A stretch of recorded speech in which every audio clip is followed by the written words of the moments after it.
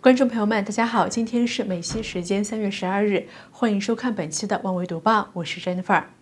虽然如今中国这次的公共事件似有好转的迹象，但稳经济、稳就业的另一场经济领域的战役却刚刚开始。面对比以往任何时候都更加严峻的形势，中国总理李克强最新喊出了“中国不再为 GDP 至上，而发出稳就业大盘”的口号。有分析指出，李克强释放不同寻常的背后，恰恰印证了中国经济如今深陷重重危机的窘境。路透社文章指出，中国国务院总理李克强最新表示，所有相关部门在考虑全年工作的时候，都要把稳就业放在重中之重的位置，并称只要今年就业稳住了，经济增速高一点、低一点都没什么了不起。李克强还特别强调，下一步要实现经济恢复性增长，还得靠更大力度的市场化改革，靠更大力度的对外开放。报道指出，中国教育部高校学生司司长王辉十二日在北京表示，二零二零年中国普通高校毕业生为八百七十四万，同比增加四十万人。然而，就业岗位却大大减少，仅作为应届生岗位的创造主体的一百人以下的小微企业应届生需求同比降幅就达到了百分之六十。也就是说，今年全中国八百七十四万大学生面临着毕业即失业的境遇。除了高校毕业生，中国还有高达两点九亿的农民工。这次事件也让农民民工节后返岗工作落了空。如何帮助毕业生和农民工这两大就业群体保住饭碗、找到工作，已成为中国经济复苏的头号难题。美国之音的报道指出，作为世界最大的汽车市场，中国今年二月汽车的销售量比去年同期大跌，跌至三十一万辆，跌幅将近百分之八十，是有史以来最大的单月跌幅，而且已经是连续二十个月下跌。中国的汽车制造厂商正急呼政府提供政策扶持，挽救濒临崩溃的汽车业。如今，中国一季度经济数据惨淡已成定局。路透社此前调查了国内外的四十多名经济学家，这些经济学家的预估中值为：第一季度经济增幅将从二零一九年第四季的百分之六点零降至百分之三点五，较二月十四日调查时低了一个百分点。如今，中国企业在经历了口罩荒、招工难、原材料不足的种种难题后，终于开始复工生产了。但复产后才发现上下游不通，供应链不畅。最令企业忧心的是，没有后续订单，难以维。因为很多企业现在生产的都是在这次事件之前接的单，如果没有新订单，企业难以撑过两个月。之前在复工路上所做的努力也就变得毫无意义。另有分析称，在过去几年经济萧条中，中国中小企业已倒闭不少，仅2018年上半年就倒闭了五百万家。也许是数字太触目惊心，之后就没有类似的数据统计了。而目前，中国很多中小企业的现金流撑不过三个月，一旦到四月底不能复工，企业现金流将耗尽。就算政府有免社保政策，就算可减薪，都于事无补，剩下一条路就是倒闭歇业。美国国家安全顾问奥布莱恩当地时间周三表示，川普政府正在考虑美国加州公职人员退休基金对中国军工企业的投资情况。对美国投资者来说，这涉及到巨大的安全问题。CalPERS 是美国最大的公共退休基金，为一百六十多万加州公共雇员、退休人员及其家人管理退休金和健康福利。路透社的报道，奥布莱恩称，CalPERS 的一些投资政策非常令人担忧，因为很多人要靠退休金养老，而把这些资金投向并不遵循美国会计准则、报告要求也不同于美企的公司是很可怕的。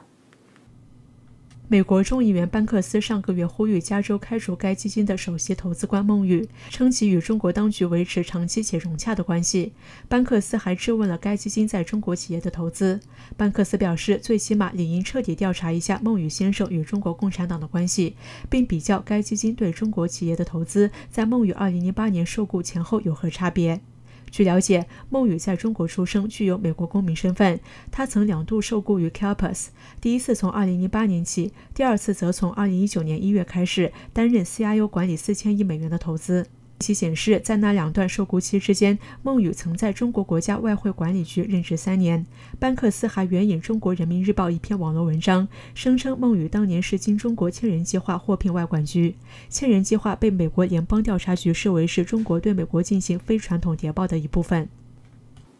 美国参议院当地时间十一日傍晚一致通过《二零一九年台湾盟邦国际保障与强化倡议法》（简称“台北法案”），完成国会立法程序，并送交川普总统签署生效。此前，众议院以四百一十五票赞成、无人反对，一致通过这项法案，主张美国政府应该强化台北对外关系，支持台湾参与国际组织及强化美台贸易关系。根据美国立法程序，国会两院通过法案之后，总统有十天考虑签署或提出反对。如果总统什么都不做，法案将在十天后自动生效。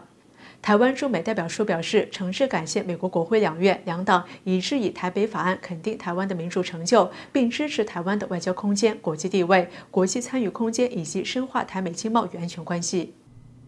与此同时，美国国会跨党派议员星期三提出议案，要求停止进口新疆生产的产品。同一天，美国国会暨行政当局中国委员会发布最新报告，引述多家国际媒体报道，描述新疆农场和工厂广泛存在着强迫劳动的现象。与此同时，另一部涉及新疆的重要法案有可能很快获得两院正式通过，并送交川普总统签署。在参议院方面，持续推动维吾尔人权政策法的卢比奥参议员透露，目前正在参议院进行版本协调工作的维吾尔人权政策法有望在两周后取得新的进展。卢比奥表示，目前正在敲定最终文本，要从不同委员会获得每个人书面形式达成的协议之后，就可以送交到院会。我认为应该可以在不用唱名表决的情况下，无异议通过最终协调的版本。维吾尔人权政策法案去年十二月初在众议院获得压倒性通过后，送回参议院进行协商，等待再次表决。该法案的参议院版本早在去年十月已获得参议院无异议通过，但由于众议院版本增加了一些内容，使两院通过的版本不尽一致，因此需要参议院再次审议。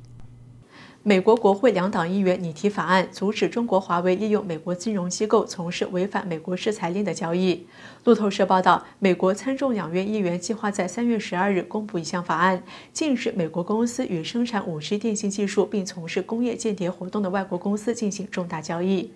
该法案发起人包括参议院少数党领袖查尔斯·舒默、共和党参议员汤姆·克顿和众议院共和党参议员麦克·加拉格尔。多位两党国会议员也表示明确支持。如果该法案获得通过，并将华为纳入管制对象，那么该公司与全球客户的某些交易将无法使用美国的银行处理汇款事宜。目前，全球大多数的美元付款都是通过美国的金融机构交易。美国司法部去年一月指控华为和孟晚舟涉嫌通过香港信通科技公司将美国商品和技术非法送到伊朗，并且欺骗西方银行将资金转移出伊朗。参议员舒默在一份声明中表示：“现在是川普政府采取迅速有力的行动，阻止华为进入美国金融体系的时候。如果允许中共通过华为控制全球 5G 网络，将对国家安全构成威胁。”参议院加拉格尔表示：“我敢肯定，白宫对议员的新提案将会有一场辩论，但我希望说服总统这是必要的法案，至少要在 5G 方面与华为相抗衡，并且保持西方公司争夺 6G 甚至更高技术的能力。”据了解，该法案有一些豁免条款，例如允许华为继续从事与 3G 和 4G 有关的交易，参与国际标准制定机构的活动，以及授予总统最多九十天的豁免权。美国国务院发表二零一九年年度香港政策法案报告，结论指中国大陆中央政府在香港执行或唆使，似乎抵触了基本法和一九八四年中英联合声明给予香港高度自治的一连串行动。二零一九年，香港历经接近八个月的抗争运动期间，港人所应获得的政治权利保障受到损害。报告书特别指出，警方在街头运动时采用过度执法，损害港人的人权和自由，但港府视而不见。由于美国国会去年通过《香港人权与民主法》，总统川普并已签署惩罚，国务院这份报告或会成为美国是否对香港进行制裁的一个考量。报告书又指出，大陆中央政府干预香港事务的频率，以及香港政府配合大陆指示的行动也在增加之中，加速过去一段时期的反面趋势。报告书的结论同时指出，香港大致上仍然可以在“一国两制”下的框架下维持一个足够的自治水平，从而仍可获得美国给予香港在香港政策法案下一个特别待遇。但报告书警告，香港的自治已经在削减之中。香港特区政府针对美国国务院的报告发表声明，予以反驳，并重申，外国政府不应以任何形式干预香港特别行政区的内部事务。中共广电总局早前曾针对演艺圈寄出限薪令、限股令、限级令，近日又经传广电总局重拳出击，实施限级令。网友纷纷猜测，拥有美国国籍的刘亦菲、移民加拿大多年的吴亦凡等众多明星艺人或受影响。近日，大陆网络流传的一份文件显示，限级令内容大致如下：一、有过污点或造成网络舆论的艺人不得选用；二、港澳台有过不当言论的艺人不得选用；三、外籍艺人不得选用。显然，上述文件的第三点是此次限制令的最大看点。外籍艺人不得选用的表述，显然是此次专门出台的限级令。顾名思义，限级令针对就是在娱乐圈发展的外籍艺人。虽然所传文件中并没有列出演员的名字，但有爱国网民早已统计出了一份详细的名单，其中包括刘亦菲、吴亦凡、张铁林等人在内，外籍艺人多达二十四位。公开资料显示，女星刘亦菲是美国籍，男星吴亦凡是加拿大籍，而国际武打影星李连杰则是新加坡籍。香港浸会大学新闻系高级讲师、资深中国新闻记者吕炳权接受自由亚洲采访就表示，双重国籍在中国是一个非常普遍的现象，无论是娱乐圈、政界还是商界，任何有权、有钱、有势、有能力离开中国拿外国护照的人，都会去国外买一个保险，背后说明大家对中国制度和保障没有信心。以上就是本期万维读报的所有内容，感谢您的收看。如果您喜欢我们的节目，请点击屏幕右下方订阅我们的频道。我是 Jennifer，我们下期再见。